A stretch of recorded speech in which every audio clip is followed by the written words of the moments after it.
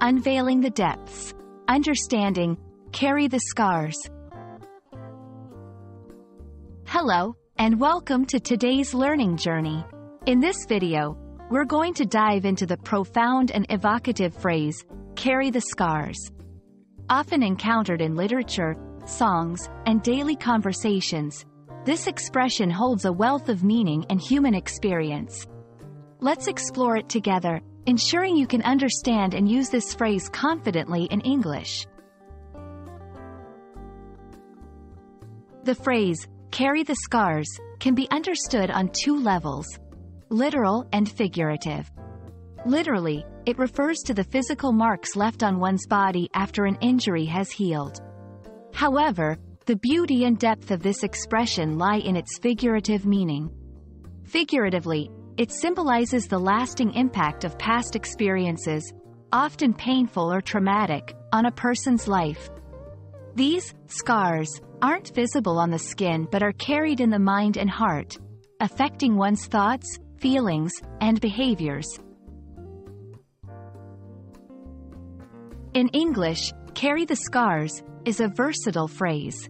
It's commonly used to express empathy, acknowledge past struggles, or reflect on personal growth. For instance, when someone says, he carries the scars of his difficult childhood, it doesn't mean he has physical scars but that his past experiences have left a lasting impression on him. Understanding this phrase enriches your language, allowing you to express complex emotions and experiences succinctly. Let's see how this phrase is used in different contexts. 1. Literature. In novels, characters might carry the scars of past events, shaping their decisions and relationships. 2. Everyday conversations.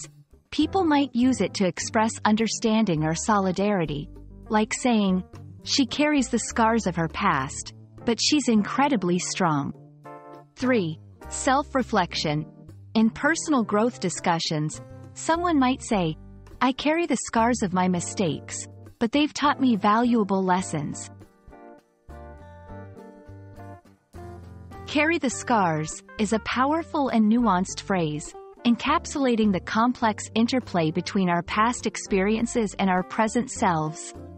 Whether used in literature, everyday conversation, or personal reflection, it speaks to the resilience and depth of the human spirit. I hope this video has not only enriched your understanding of this phrase but also deepened your appreciation for the beauty of the English language. Thank you for watching, and remember, every scar tells a story. Keep learning, and carry your scars with pride.